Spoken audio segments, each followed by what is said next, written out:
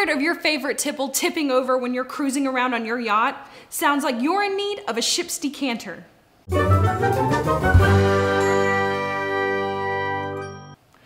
Nothing ruins your rockin' time on a rockin' ship faster than a major booze mishap. Seafarers understood this as early as the 1700s, and as British naval supremacy increased, so did popularity of the ship's decanter.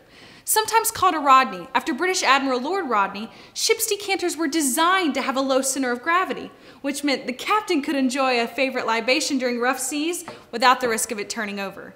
It's something a normal decanter simply can't do. So grab a ship's decanter and you'll be ready for any port in a storm.